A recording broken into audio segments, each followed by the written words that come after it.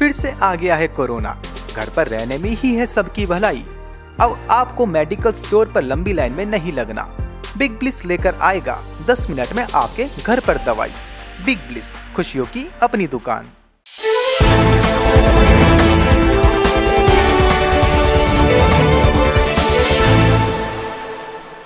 ये सब बात करें अगर अब बिनौला खल की। तो बिनौला खल का फरवरी वादा देख रहे हैं, इकतीस पर ट्रेड करता नज़र आ रहा है।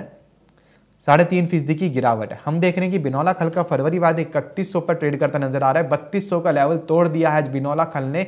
और साढ़े तीन फ़ीसदी की गिरावट के साथ ट्रेड करता नज़र आ रहा है। हम काफ़ी समय से देख रहे थे कि बिनौला खल का वायदा बाज़ार एनसीडीएक्स पर तैंतीस सौ के ऊपर ट्रेड करता नज़र आ रहा था, सीमित दायरे में ट्रेड करता नज़र आ रहा था। ना ही ज़्यादा मंदी देखने को मिली थी, ना ही ज़्यादा तेज़ी।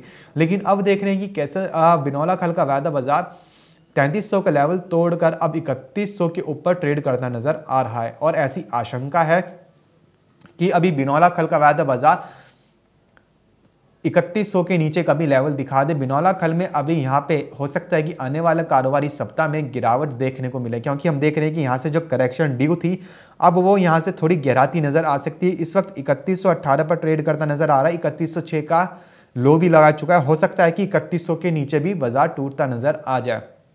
और बिनौला कल छोटी अवधि के लिए हो सकता है कि अभी एक सीमित दायरे में कारोबार करे, कंसोलिडेशन वाली स्थिति बिनौला खल की कीमतों में बनती नज़र आए।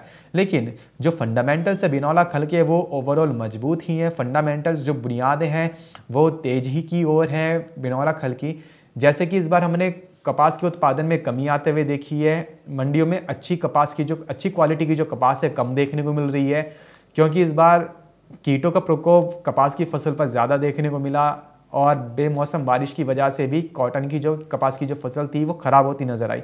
जिसकी वजह से कपास के बीजों में भी कमी है, कपास की फ़सल में भी कमी है और जब कपास के बीजों में कमी रहेगी तो उसकी कमी का असर बिनौला खल के स्टॉक पर भी पड़ता नज़र आएगा और उसी की वजह से देख रहे हैं कि इस बार बिनौला खल की कमी थोड़ी देखी गई है।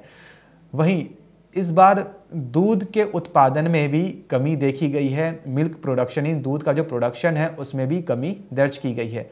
क्योंकि इस बार हमने देखा था कि लॉकडाउन लग गया था और जो पशु चारा जो घास खिलाई जाती है पशुओं को, उसकी कीमतों में बढ़त देखने को मिली थी। जब पशुओं के ऊपर निवेश कम किया जाएगा, उनको पूरा प्रॉपर फीडिंग नहीं दी जाएगी, तब दूध का जो उत्पादन है, कम ही देखने को मिलेगा। और बिनौला खली एक मात्र ऐसा उत्पाद एक ऐसा प्रोडक्ट है, एक ऐसा उत्पाद है जो पशुओं के अंदर दूध के फैट की मात्रा को और दूध की मात्रा को बढ़ा सकता है।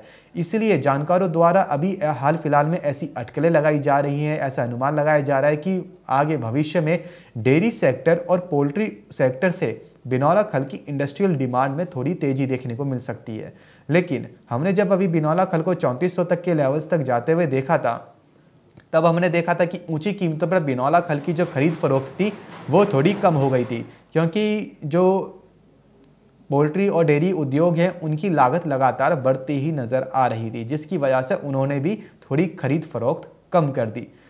और सरकार ने भी इसके खल के ऊपर बोल दिया है कि खल को कोई ज़्यादा दिनों तक स्टॉक करके नहीं रख सकता है। हमने इसकी खबर आपको पहले भी दे चुके हैं। अभी ओवरऑल रुझान बिनौला खल की कीमतों में तेज़ी का ही रहेगा। इंडस्ट्रियल डिमांड जानकारों द्वारा अभी भी उठती नज़र आ सकती है। मिल्क पाउडर और दूध की कीमतों में भी बढ़ोतरी देखने को मिल सकती है। तो ओवरऑल रुझान बिनौला खल में तेज़ी का ही है। हमारे जो एक्सपर्ट हैं, केडिया एडवाइजरी के डायरेक्टर अजय केडिया, उनके मुताबिक बिनौला खल आने वाले दिनों में अड़तीस से लेकर 4000 तक की भी लेवल दिखाता नज़र आ सकता है। और अगर शानदार बढ़त रही और अगर डिमांड बहुत ही ज़्यादा देखने को मिली तो हो सकता है कि 4000 के भी ऊपर बिनौला खल की कीमत वायदा बाज़ार में निकल जाए। 4000 का भी आंकड़ा पार कर जाए तो कोई ज़्यादा बड़ी बात नहीं होगी। बिनौला खल में ओवरऑल तेज़ी का ही रुझान है। वार्ड्रोब को अपडेट है करना। तक बिग ब्लिस के क्लोथिंग सेक्शन को एक्सप्लोर है करना। बिग ब्लिस खुशियों की अपनी दुकान।